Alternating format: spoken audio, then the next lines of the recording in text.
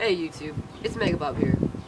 Now, before I show you a video of somebody failing epically off of parachuting while being stupid, do you really want to see that?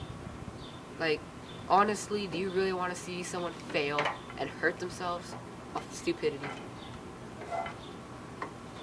You know, everyone would, I bet you that. But the real question is, why are you watching this video? I mean, are you bored? Do you like my videos? Do you think I'm awesome? Do you think the people that I work with are awesome? Or do you just think I have a sexy voice? Because, yes, I have had someone comment that. Well, I guess I'm holding you off for long enough, and if you haven't deleted all, or X'd out this video already, here's a video of someone failing epically while jumping and failing on a parachute.